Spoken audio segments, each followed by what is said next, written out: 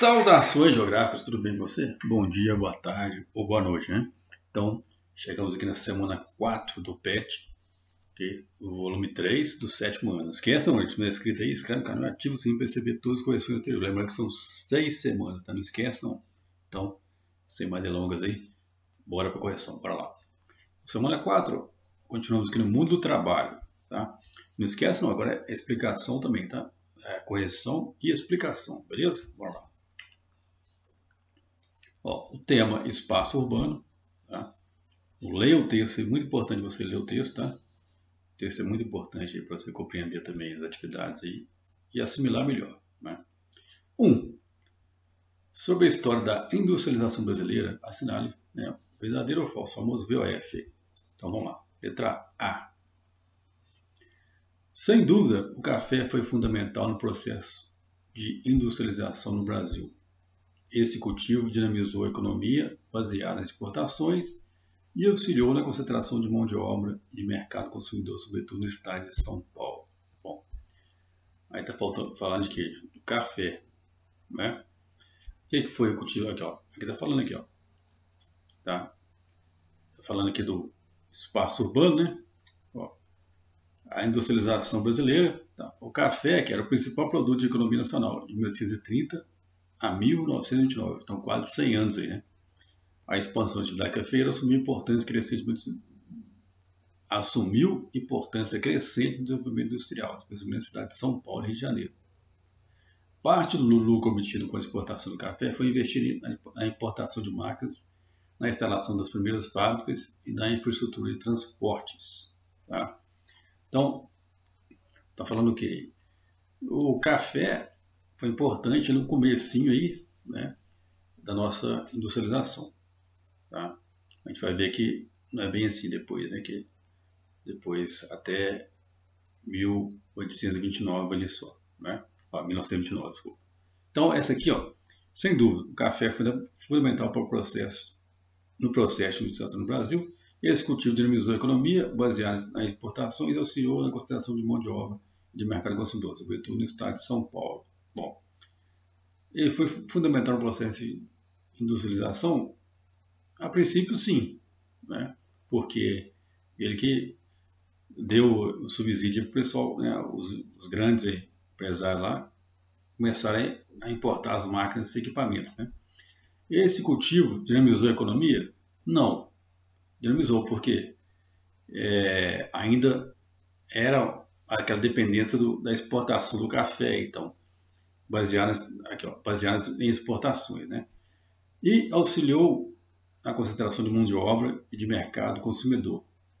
Bom, concentrou a mão de obra e mercado consumidor também, sobretudo no estado de São Paulo.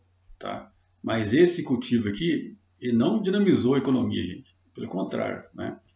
a economia ficou baseada assim na, só na, na, na exportação do café. Tá? No começo aí. Tá? Pouco depois que, depois que a, a crise lá do café, que o café né, deixou de ser o produto importante aí, que eles, a indústria começou ali até a se germinar ali. Mas foi só lá depois da, da Segunda Guerra Mundial que começou realmente. Então, essa aqui está errada por esse motivo. Letra F na né, letra. B. As primeiras indústrias atuantes no Brasil eram as que utilizavam tecnologias avançadas e onde se produziam produtos bastante complexos. Pelo contrário, gente, tudo errado aí. Tá? As primeiras indústrias brasileiras não utilizavam tecnologia avançada, não. Tá? Era a coisa mais simples mesmo possível. Tá? E os produtos também não eram bastante complexos, não. Pelo contrário também. Né? Então, letra F também nessa aí. E letra C é sobretudo a partir de 1930 que a industrialização brasileira se torna mais complexa em relação à produção de, e se expande ganhando força na economia e gerando empregos a partir de 1930 que deu a queda lá da, da exportação de café, né? Houve muita produção de café, imagina você, muita produção de café e pouca gente querendo comprar. Então aconteceu, quebrou, né? O pessoal foi diminuindo aí.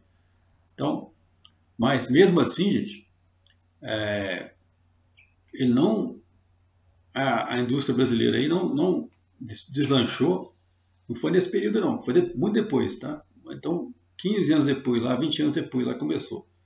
É, ah, sobretudo a partir de 1930, que a industrialização brasileira se tornou mais complexa em relação à produção de, e se expande ganhando força na economia e gerando emprego. Bom, a gente pode considerar que, sobretudo, a partir de 1930, aí tudo bem.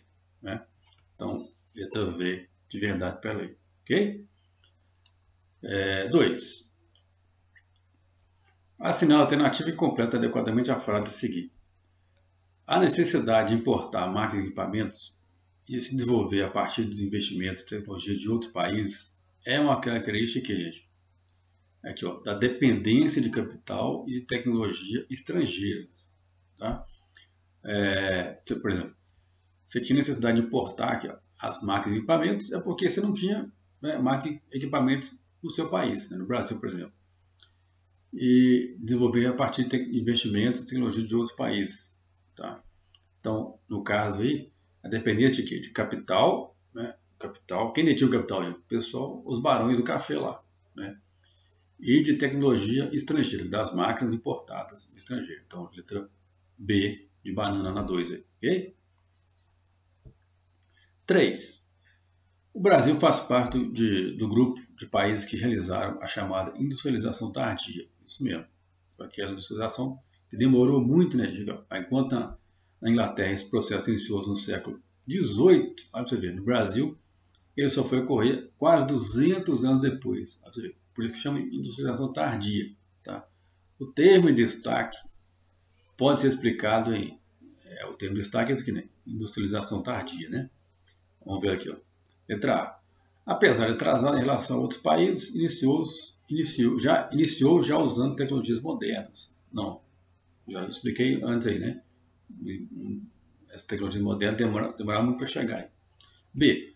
O processo de implantação das indústrias demorou mais a começar do que em outros países. Né?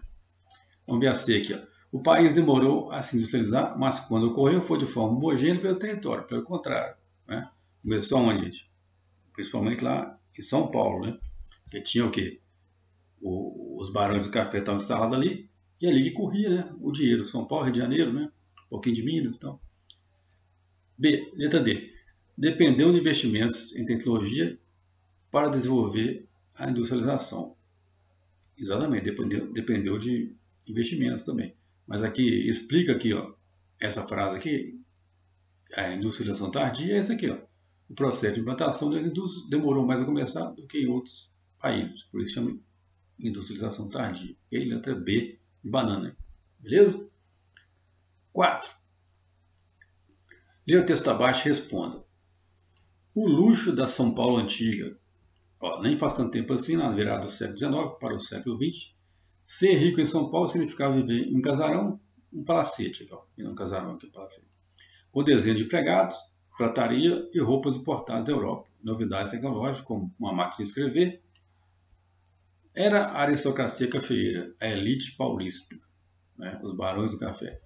E em 1900, São Paulo já era a metrópole do café e tinha em seu centro um nó de ferrovias. Os fazendeiros continuavam a chegar com seus filhos, agora empresários, médicos e engenheiros. Tá? Então, o que está pedindo aqui? Em sua opinião, por que nos anos 1900 São Paulo já era, já era segundo o texto, a metrópole do café? É, por esse motivo, se concentrou ali ó, a elite, né, os grandes produtores de café, que eles faziam, tinham suas fazendas no interior, né, do estado principalmente lá, e mudar para São Paulo, tá, para a capital. E é, ali com, com as suas economias, né, as suas riquezas, né, comprava os casarões, né, tinha muitos empregados, igual o texto falando aí. Então, se concentrava ali. Então, por isso que foi chamada metrópole okay, do café, devido a essa concentração né, de, de, renda aí, devido a esses grandes produtores de café vierem o quê? a residir ali na cidade de São Paulo. Beleza? É, B. Por que o centro de São Paulo era um nó de ferrovias? Bom, pelo mesmo motivo, né?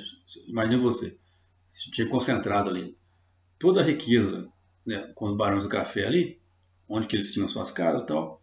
Então, o estado de São Paulo, né, é, o centro de São Paulo ali, é, saíam o quê? As principais rotas né, comerciais chegava o café, né? E para exportar ali no Porto de Santos, né? Então, São Paulo passou a o quê?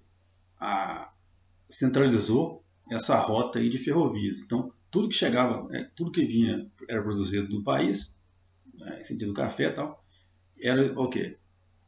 Import, exportado, né, digamos, exportado aí, né, é, conduzido para São Paulo, né, para ser exportado do país.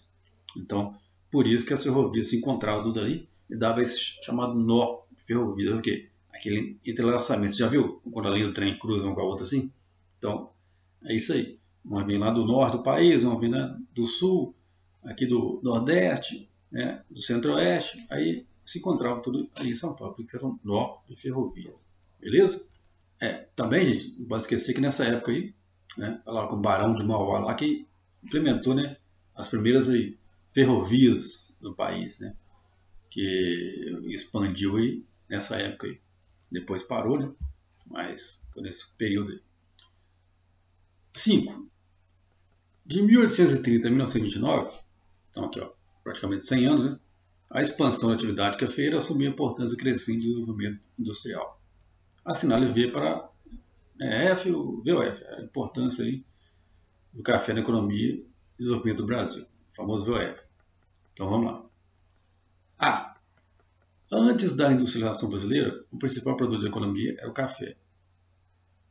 É, o ouro verde, exatamente, é chamado de ouro verde porque o café né, é, tá verdinho lá, né? depois que ele fica maduro, que ele, vermelho, depois ele é torrado, fica pretinho, mas ele inicialmente é verde, então chamado de ouro verde.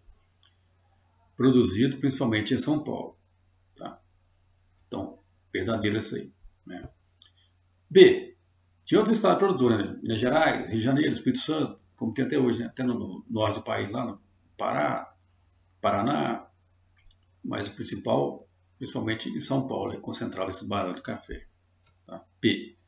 O café foi o principal produto brasileiro durante todo o século XIX, mas perdeu força para a cana-de-açúcar e para a soja no início do século XX. Bom, até aqui tudo bem. Perdeu força para a cana-de-açúcar? Não, perdeu força para a soja, né, no início do século XX. Aí. Cana-de-açúcar não, cana-de-açúcar foi antes do café lá, o ciclo da cana-de-açúcar, e depois né, é, você teve aí, você tem também a produção aí de etanol, né, mas já, já bem depois disso aí. Então, essa aqui está errada por esse motivo aqui, tá? C. A, cafe... a cafeicultura enriqueceu os barões do café, ok, mas não favoreceu empresários e banqueiros. Está errado por quê? Ela também favoreceu, gente. Brasil de você. Você tinha lá a concentração dos barões do café, onde que ele, onde que ele ia colocar o dinheiro dele? Né? No banco. Né? E também com isso o que favoreceu o que a, a implantação que do comércio né, local em São Paulo, porque São Paulo virou essa, essa metrópole. A implantação, eu deixei até falar isso no, no, na outra lá. É, a implantação do comércio né, gerou o quê? Comércio, serviço, né? Então incrementou tudo isso aí. Então, ó, a cafeicultura enriqueceu o barão do café e também favoreceu empresários e banqueiros. Tá? Então esse aqui está errado por esse motivo, mas não também favoreceu. Okay? Então F para lei. D. Deu para entender? D. Entre as condições favoráveis à industrialização promovida pela cafeicultura, destaque-se a acumulação de capitais. Ó, entre as condições favoráveis à industrialização promovida pela cafeicultura, destaque-se a acumulação de capitais. Exatamente. O, a acumulação de capital ela foi primordial para a implantação da indústria. Né? Você implantar a indústria demanda o quê? Dinheiro, dinheiro, capital, né? Então você tem que ter, acumular um pouco de capital para você começar né, com a indústria. Então tá certo isso aí. Né? Letra E. O trabalho nas lavouras de café atraiu muitos imigrantes. o trabalho nas lavouras de café atraiu muitos imigrantes europeus, exatamente, que tinham que também foram importantes no início da nossa industrialização, pois eram mão de obra qualificada. Exatamente. O, o pessoal que vem né, italiano, é, espanhol, português, né, alemão, os alemães, muita gente francesa aí, um pouquinho também. É, todos esses aí e outros, né, outros mais que eu vou citar aqui, foram importantes para essa okay, nessa processo de industrialização, que eles eram pelo menos um pouquinho mais, né, gente? Um pouquinho mais ali, digamos assim, é, tinha um pouquinho mais de conhecimento que os trabalhadores aqui brasileiros, né? Que na maioria deles o quê? eram aquela leva, né, de uh, tinha acabado a escravidão, os escravos foram deixados ao léu, né, vamos dizer assim. E o povo também não sabia, né? Tinha, é, analfabetismo era, né, berrava lá em cima. Só quem, quem sabia ler e escrever é quem tinha né, de condições naquela época, né? Então, por esse motivo aí. Então tá certo isso aí também, ok? Aí chegamos, gente, ao final então da semana 4, não esquece não, tá? Ative o sininho para receber as notificações e todas as correções posteriores. E se não é inscrito, inscreve no canal e deixe também aquele like se gostou aí e seu comentário, ok? Um abraço a todo mundo, aguardo todos vocês aí no próximo vídeo. Tchau, tchau.